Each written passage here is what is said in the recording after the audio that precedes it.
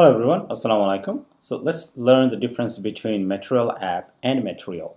Now here this is Material app. Material app should be at the root of your app where your app starts from and in Material app you can set up many properties like initial route, show, debug, check, banner and home route and theme.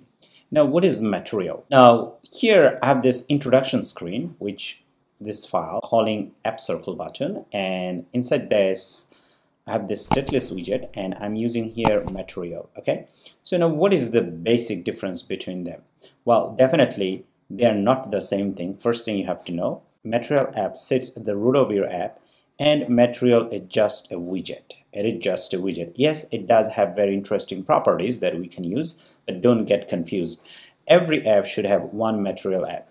Now regarding this material you don't have to use this widget. It is just a widget, but it has some properties. For example, you can mention the type, uh, whether you want transparent or blurry or not transparent. For example, this material, this widget is representing this arrow over here. Now here I set up the material type is transparency but I can remove this or comment out then I will see that it's not transparent. So it has this default white background.